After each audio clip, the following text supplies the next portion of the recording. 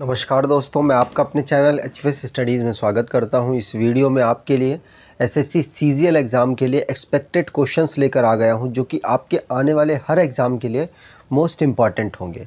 यहाँ पर हम हर जो सिलेबस है आपका, उसमें हर सब्जेक्ट को कवर कर रहे हैं।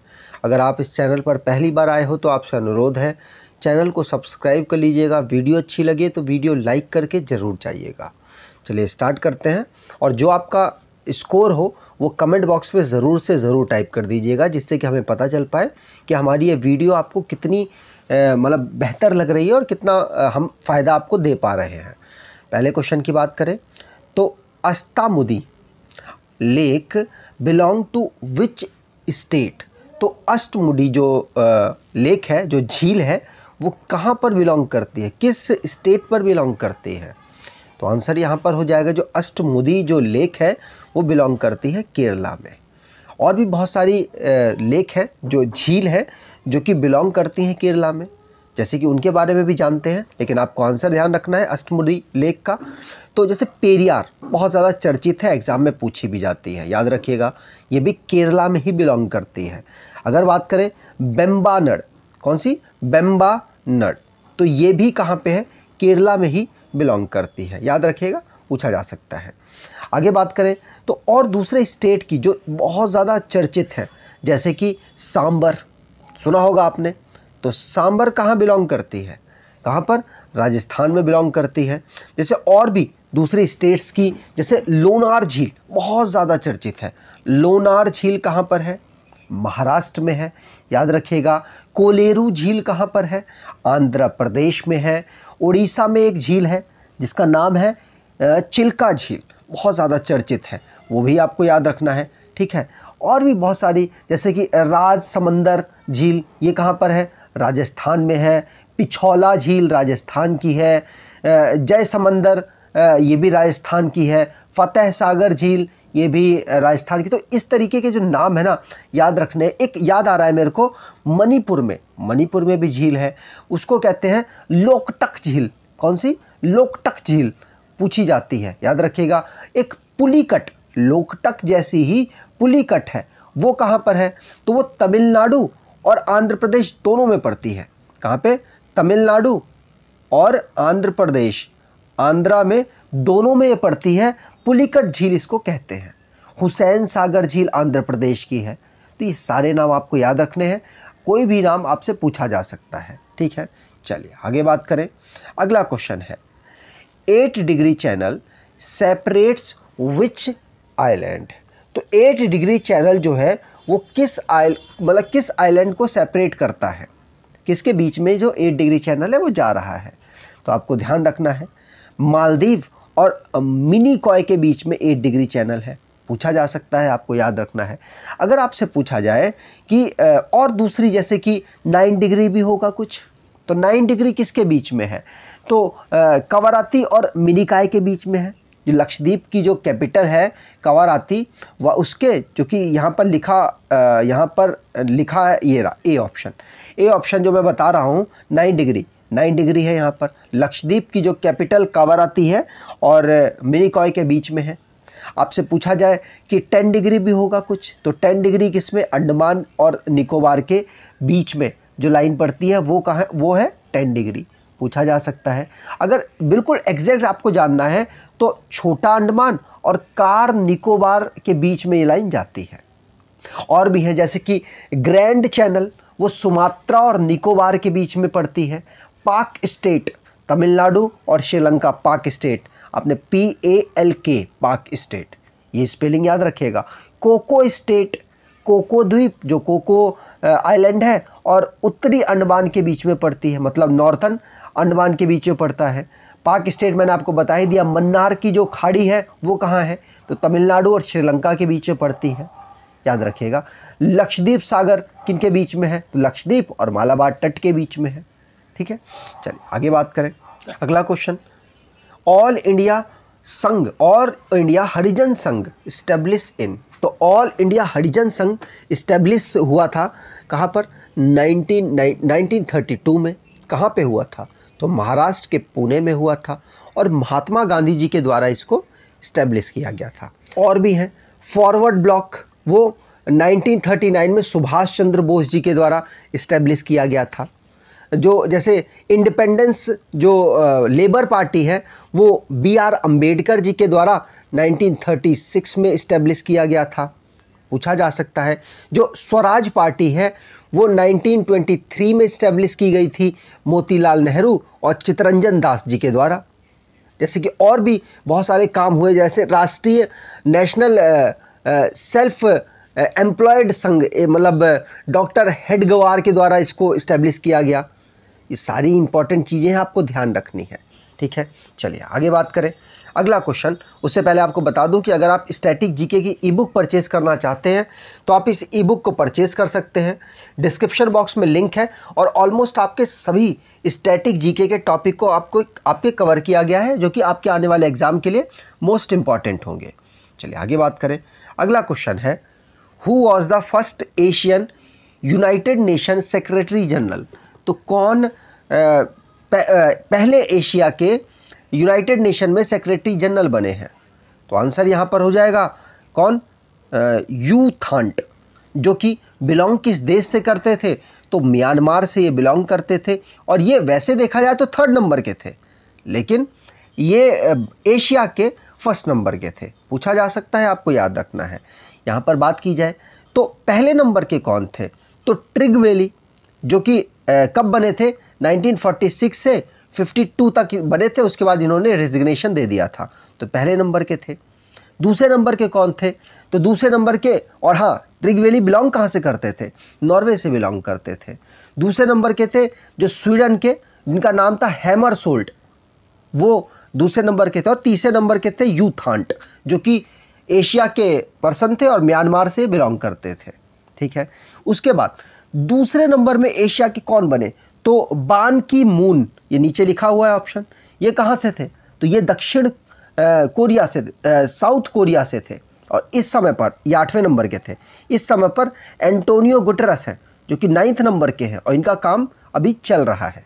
ठीक है? चलिए, आगे बात करते हैं। अगला क्वेश्चन है which is called the metal of future metal of the future किसको कहा जाता है?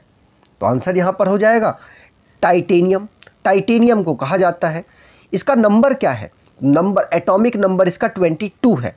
टी आई से इसको रिप्रेजेंट किया जाता है। टाइटेनियम पूछा जा सकता है। आपको ध्यान रखना है। आगे बात करें। और इसको मेटल ऑफ़ द फ्यूचर कहा जाता है। अगला क्वेश्चन है।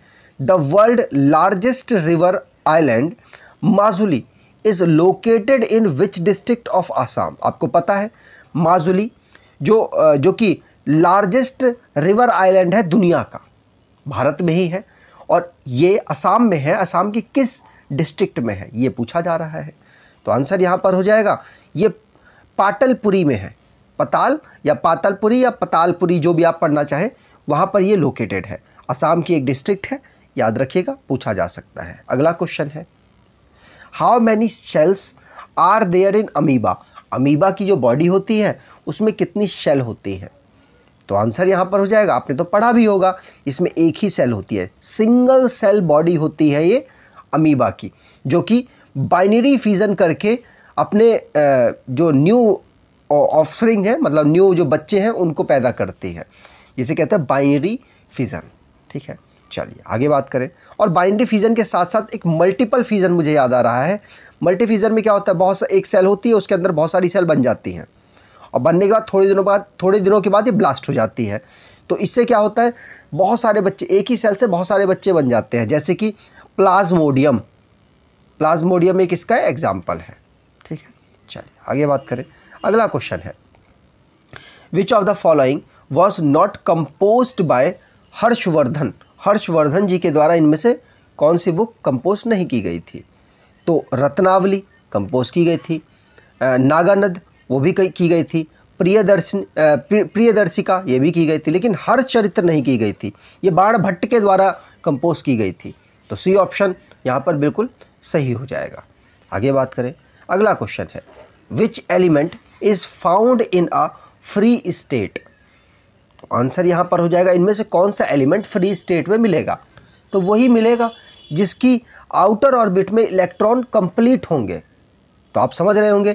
सल्फ़र की बात की जाए तो इसका नंबर होता है सोलह, एटॉमिक नंबर होता है सोलह, और ये अपने शैल में दो, या के में, उसके बाद एल में आठ, उसके बाद एम में टू रखता है। अब सोच सॉरी, टू कह रहा हूँ, सिक्स रखता है।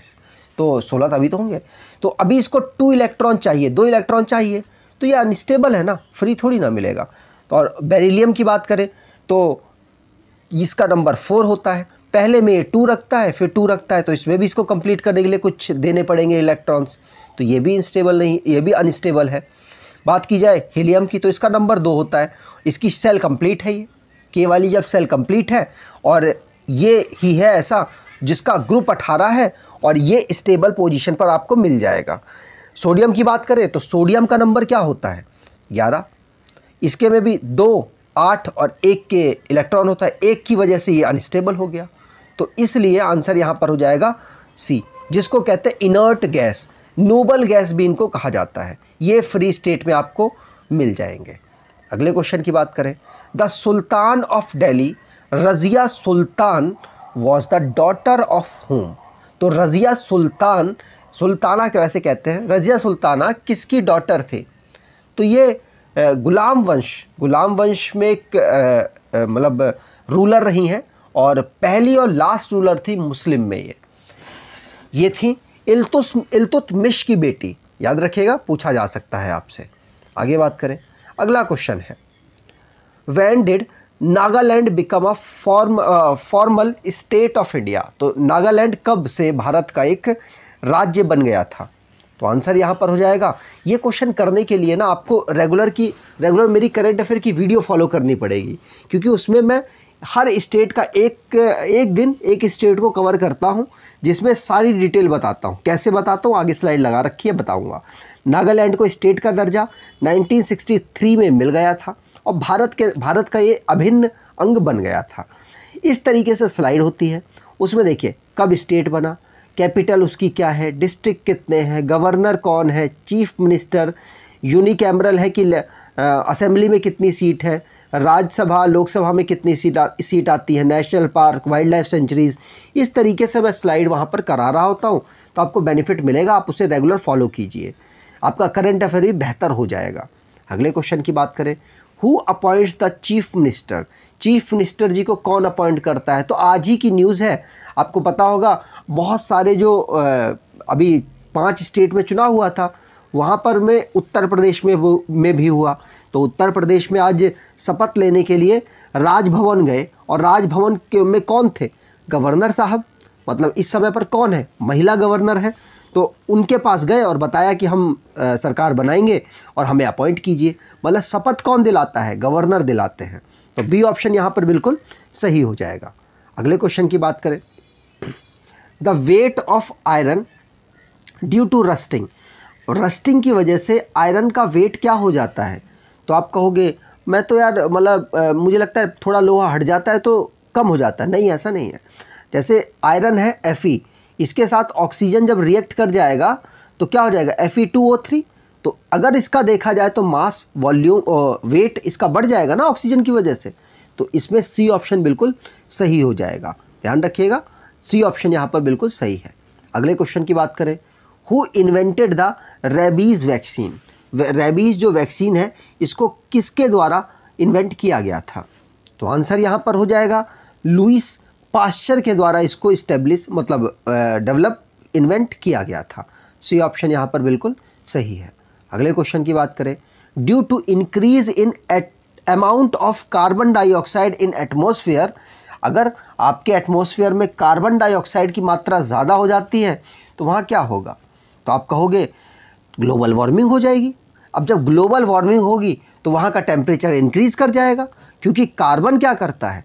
सन की लाइट को रोक के रख लेता है रिफ्लेक्ट करके दोबारा से वापस भेज देता है।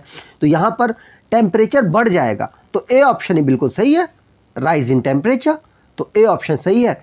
अगर आपको क्वेश्चंस और क्वेश्चन की क्वालिटी अच्छी लगी है तो आपसे अनुरोध है वीडियो को शेयर ज़रूर कर दीजिएगा और एटलीस्ट वीडियो को लाइक करके ज़रूर जाइएगा। और आ, हो सके तो चैनल को सपोर्ट कीजिए। धन्यवाद।